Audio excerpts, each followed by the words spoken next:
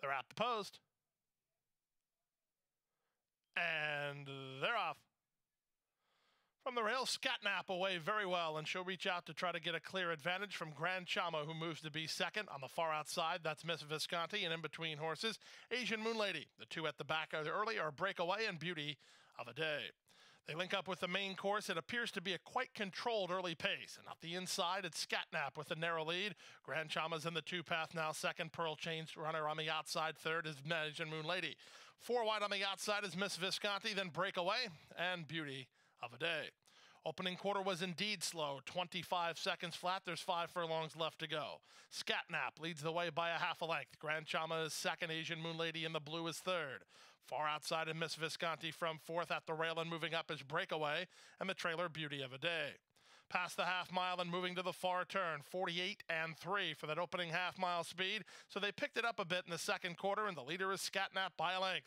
Asian Moon Lady in range while second. So is Breakaway third. Grand Chama's called it a day. On the outside is Miss Visconti. Then running on from the back is Beauty of a Day. Batista takes a peek over his shoulder at the 5 16th. He has a length advantage on the big favorite Scatnap.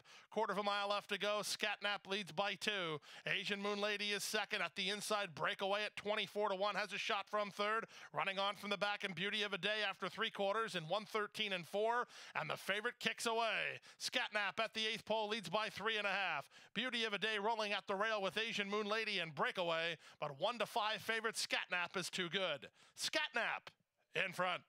Going to be a wall for second. The Beauty of a Day wins that photo ahead of Asian Moon Lady and Breakaway.